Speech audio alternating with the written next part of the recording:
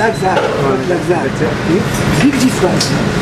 Okay, and after you cut everyone the same size, and you boil. That's all. Not difficult. Huh? Ah. You have to understand, my my cooking is all about the local market, nothing else. Yeah. So of course I'm French, so I have a French technique, I have French style, and I'm totally crazy about Japanese cuisine. So people sometimes are wondering if I don't cook Japanese. No, I don't cook Japanese. I cook a lot with Japanese ingredient because I love the flavor. I love the yuzu, I love the kabosu, I love the, the sansho, etc., etc., etc. So uh, I like the Japanese technique also because I don't know if you know that, but uh, uh, Japanese technique has uh, almost 50% of the base of molecular cuisine. Of course, the country just discover, uh, dis- discover about five years ago molecular cuisine. This exists since Yeah. tw- 25 years ago, Uh-huh. even more. I will say 30 years ago. I stopped doing molecular basically uh, 15 years ago. Uh, I didn't stop. I mean, you know, when uh, okay, you do, it's done. What next? Yeah. And it's amazing that because uh, it's a kind of décalage. Because now everybody's talking about okay, no, well, never mind. I'm, I'm always, I'm, I'm never on the right timing of the story. um, so. Um, I decided to do this, this recipe, recipe, which is kind of very modern, but not molecular at all. It's no chemical at all, anywhere on this recipe. And anyway, even when I was doing molecular, I was not using chemical on the past. This doesn't fit my philosophy of cooking, Yeah. which is fresh from the local market. Uh, so what you have on this recipe is uh, basically what I found here. Of course, when you have to cook for 800 portion, uh, don't pick up onaga because it's not enough onaga Yeah. on the ocean for 800. Of course, this recipe on my menu is with onaga, but we serve about. Uh, uh, I told you we are sold out with 50 people every night, so I can use onaga. But when it's 800, I don't take the risk. So I decided to use shutome, Uh-huh. which I love it. And I think the shutome is very appropriate because when you slice the swordfish, you can get a little bit of steak. And since I crisp the mochi on one side, eh, if I didn't get something thick enough, I mean, even if I have onaga, and if the onaga is not thick enough, the time the mochi is uh, crisp, my onaga is overcooked. Uh-huh. Okay, here I use, uh, I can select my onaga, I use only big one, Yeah. and there are things like that, they are beautiful, flaky, fantastic. But uh, this is not the same problem. But what I would like to do, and this is important, I would like, you know, I have to, I don't try to show off or whatever, but uh, I don't want people to get the experience uh, of uh, what is going on at Chef Mavro restaurant uh, when uh, it's a kind of big station, big volume, banquet style. Yeah. So what I always try to do when I do this kind of thing, and I, I cook for Sony for 1,000, uh, Yeah. one, yeah, 1,010 people. So I can, but you know what? For 1,000 people, I cook exactly the same. I, had, I get exactly the same result than when I cook for one or two people which is a big challenge, but I have 75 cooks in the kitchen. Yeah. You know? Okay. Of this I have to adapt to the recipe, but okay, I take swordfish, it's easier, makes, and it's delicious.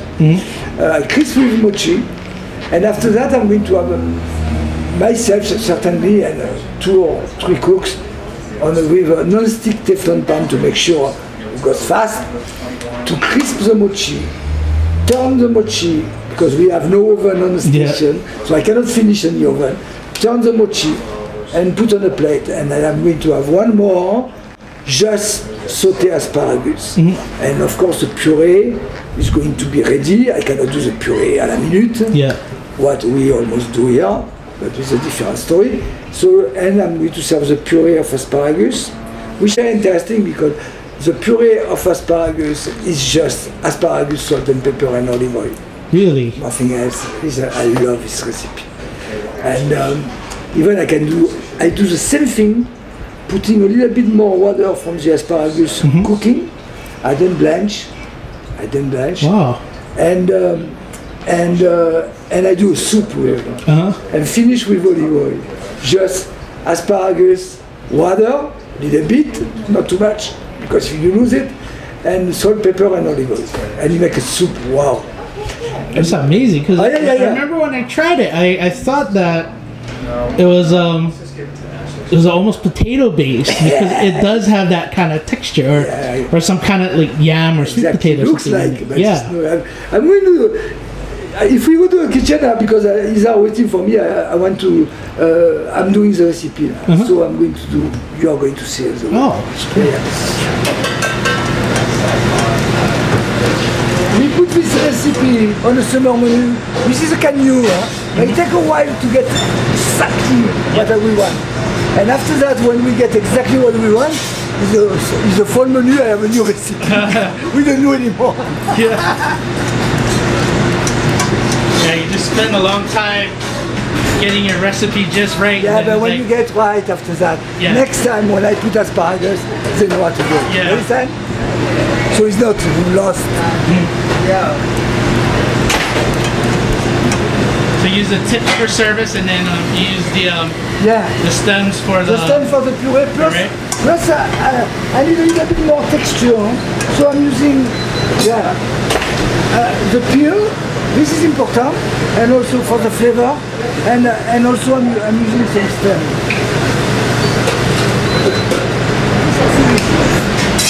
Okay, salt, very important, salt, and uh, a little bit, not one ton, a little bit baking soda.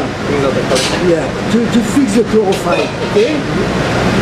The chlorophyll, okay. So, it's not necessary to bring to a boil. Uh, you can eat a little bit, it's not necessary to bring to a boil. And I'm going to put this inside. Make sure I have the double mash. Right? When I, I told you I don't blanch vegetable. This is exactly what we do instead of blanching. You remember? Yep. We don't blanch. We cook just enough water and we cool inside the water. So we don't we don't flush the flavor.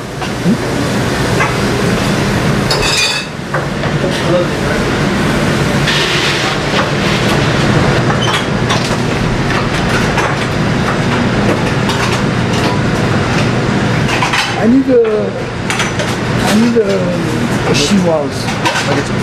I'll take that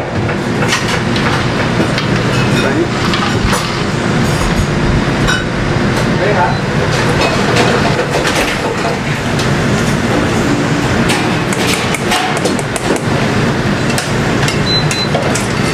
the, of course, the, you can say the water is the asparagus stock. Huh? So you use or you don't. I mean, if I don't need, I throw away. But you can do whatever you want. It tastes like asparagus, like crazy. This is the essence of asparagus. Okay.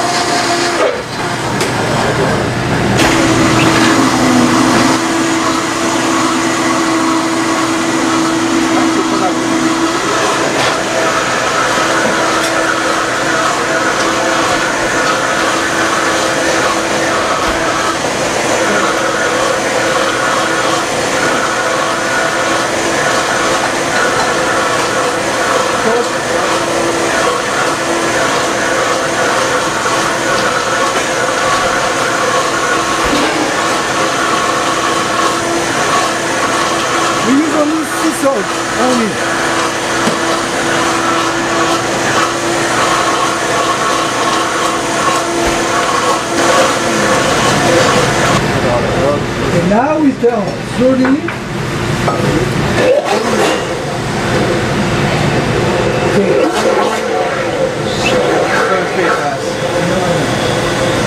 Never incorporate, never incorporate the olive oil when uh, fast.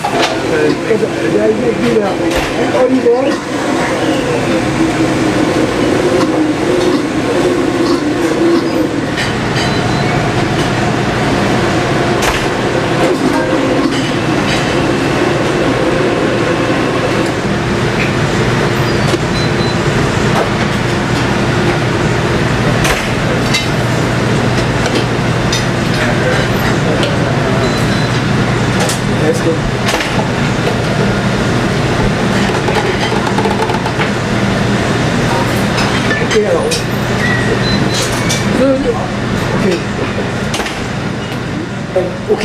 so this is a puree, or this is the garnish, and I've used a, a jumbo asparagus, very big. So uh, I'm going to put one asparagus on, on top of the puree, so asparagus, asparagus. And um, it's almost a declinaison. Uh, than uh, asparagus puree, asparagus uh, it's not blanched, so it's cooked. And uh, and uh, even I, I could do, you know what is a declinaison? It's, just, it's a, with the same ingredient, different. Like I did, uh, if you remember on Naked Code, I, I think, I forgot if I did that. I did a declinaison of watercress. Yeah. Uh, This is a declinaison. Yeah. I've been doing that for years, and I didn't know. We didn't put a name on it. And uh, I was in France three weeks ago, and I realized all my friends they put a name on it. They call declinaison. You cannot use the, the English translation declination because declination doesn't have the same meat, meaning- meaning. So it's a declinaison in France, which is a starting, uh, starting for one ingredient and doing different version and putting on the same plate or different plate at the same time. Yeah. It's great. I went to I went to uh, Gagnaire. He did a declinaison of abalone. It was 11 recipe in small plate like that in front of me. I almost die. Almost died. Oh. After that, you say, we think we know how to cook, and and you get totally Yeah. son of a bitch. And uh, I start with him. He's a friend. And uh, but you know, in France, people just say, "Oh, French, old, old style." They, they, they are totally behind. Oh, my God, the guy continue on the same direction. I'm totally lost. Anyway, he was fantastic. Anyway, so the, almost a declination of watercress and uh, the the fish, which is a shutome crusted with uh, uh, mochi, and uh, uh, the sauce. Oh, this is very. In fact, it's very simple and very modern. Instead of to use, I never use stock in this kitchen. I don't use stock. Oh. Yeah. I use jus, duck jus, lamb jus, pork jus, whatever. I never use demi-glace. I never use in my life, so I'm not going to start now. Uh, I'm totally against demi-glace. I like a chicken stock when I chicken stock, which is nice when I cook chicken. But when you want me to put a chicken stock on a soup when there's no chicken inside, Yeah. this is totally stupid. You understand? So I don't use chicken stock. And I use nage instead of, which is a vegetable Yes. with wine. Yeah, and, Uh, and both of those things are Yeah. are really kind of um, more flavorful and concentrated flavors in a. God, yeah. Because I, I have nothing against. I don't criticize. I don't cri- even criticize demi-glace. huh? Yeah. But if I don't have, I don't like cook veal, so it's one I never use. I don't like veal. but uh, if I cook a veal, I might use a jus, which is not a demi-glace. It's a veal jus. It's, it's more expensive. It's a lot of meat inside, and uh, you know, uh, you know, Yeah. you're a cook. You know Yeah. what I'm talking about. So this is, uh, you know, so very often we talk about cooking, but this is what cooking is all about. It's about the foundation, about the basic, about uh, you know how to cook or you don't know, you know how to handle a, a product or you don't know. Everything else is blah blah blah. Yeah. huh? Everything else is yeah. Okay, so um, so I'm using. It's quite quite interesting because I've been using that for for years. I, I do a puree of uh, sweet onion. I take Maui onion. I cook very very slowly uh, in a white wine. So I cover the Maui onion and very simmering for three hours. uh-huh. Oh, so it cooks, wine? but it doesn't caramelize and It doesn't color. It's Yeah. white like cream. yeah. It's white, you know. Even I start with water. You know when I start? When I start to cook the onion, I put a little bit salt and I start with water to make sure I, neutra- I neutralize the color of the onion. And after I put wine and I simmer to make sure I don't lose the color of my onion. So I have a very white, uh, very creamy puree of onion with white wine. You don't need anything more. Yeah. You have the consistency, you have the acidity. Yeah. You understand? Well, so after that you finish. This is my base. This is my cream and butter because I have both. You know, I have, I have the it's rich because it's, it's and uh, I don't do I don't do that only with onion. I do that with celery root, with oyster, fresh oyster. Oh. I do that with a lot of things. But onion is my favorite because it's the base of a lot of my sauces. And after that, I flavor. Alors I flavor with uh, um, sansho, and I finish with cabochu. Cabochu, why? Because I really I could use yuzu or lime, not not lime. I'm sorry, or lemon, yuzu. Uh, not calamansi. But but uh, since I'm, I'm already using the yuzu somewhere else, I didn't want to duplicate. Yeah. So I took a citrus, and I took a citrus I like a lot because it's very close to lemon, and it's still Japanese. Since I start to put some Japanese ingredient, I have to continue. I can, I'm not going to jump from Japanese ingredient Yeah. to whatever Filipino with a calamansi. So and uh, and that's all. And that's all. So it's very light, very simple, and uh, it has a nice acidity, nice texture, and wonderful sansho flavor. This is nice. Huh? Sansho is magic. Huh? Sa- sansho is a, is a kind of uh, ingredient make us look good without doing anything. Just put sansho. Oh, yeah, this guy is great. It was an easy, easy win. Uh, and that's all. And this is a recipe. That's all. I have nothing. And seasoning, of course. It's, it's amazing to hear you you know describe how simple a lot of the preparations are because when you know when you taste it, it's just like there's the flavors are so complex and refined, like, and you, you would think that you know there's so much work that goes into you know getting that refined kind of flavors, but you know, we, I think in the kitchen, uh, you know, I love what, you know that I love what I do. It's not, uh, and I've been, and I'm still cooking. Why? Because I decided to do this job because I love cooking. When you want me to stay in my office with a computer and run my business, I have somebody, I have a, a business manager doing that. It's great, and I stay in the, cook, in the kitchen.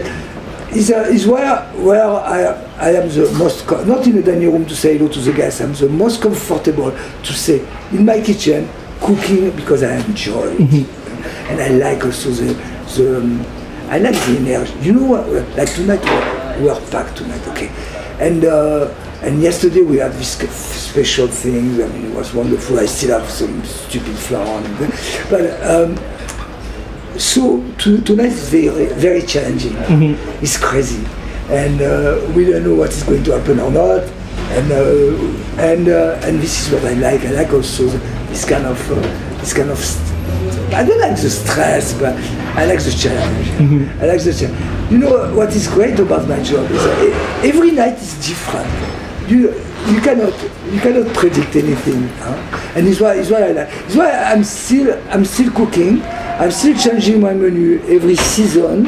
I'm in my bubble, doing whatever I do yeah, and uh, and I'm still doing. And uh, this is a good example. So if you take my cooking, even when I arrived in Hawaii 24 years ago, I was still I was still dragging all this BS from my young uh, time in the cook.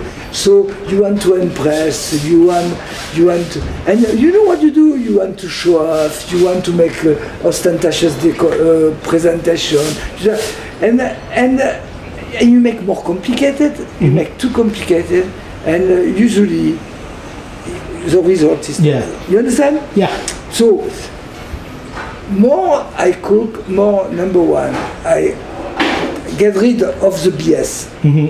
I still have a lot. I'm sorry. God is hard, eh, you know, you Yeah. grow up like that, you have to remove all the. And uh, first, I, and uh, number two, I realize is that it's like music. Huh? Look at Mozart. Mozart is so simple. It's not, you know, the music is so wow, is so fantastic. Mm-hmm. It's about the same thing. Cooking is about the same thing. Simple is a, is good. Mm-hmm. Simple, pure is the best, but it's not easy. Yeah. It's not easy. Make a small mistake and you are crucified. Yeah. And no result, no flavor, nothing. Da, da. So it's not easy. It's a Yeah. challenge. And I kill myself with my young guys, and I love it. I love them. But just to pass the, the, the message, don't complicate. They are always, you know, always Mm-hmm. Yeah. ting, ting, ting, and I stop. You don't put more Yeah. than that. You have to stop. Yeah, I've, I've always um, described it to people as thinking of uh, your plate as a car. So your you know your main component is the engine. So if the engine doesn't work, the car doesn't go. All the other garnishes and stuff that you put on, yeah, all the other garnishes and stuff you put on the plate, those are just like the shiny rims. Yeah, yeah, it's. Yeah, yeah, yeah. Who cares if it looks good? If it Yeah, doesn't yeah, taste good, yeah. the, the dish doesn't work. Yeah, yeah. It's like people they people they they buy a Lexus. What is a Lexus? It's a Toyota. Yeah. and if you don't have a Toyota, you don't. Yeah. Lexus is just plus, plus, plus. Anyway.